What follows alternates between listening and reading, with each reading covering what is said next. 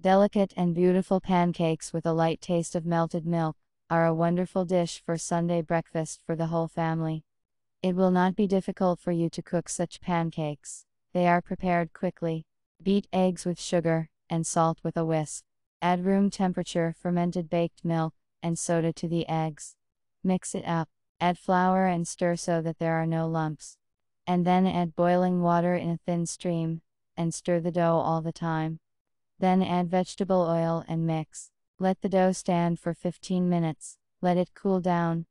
We heat up the frying pan strongly. Then the pancakes turn out to be perforated, open work, and bake thin pancakes. We lubricate the finished pancakes with melted butter and stack them on top of each other. Bon appetit!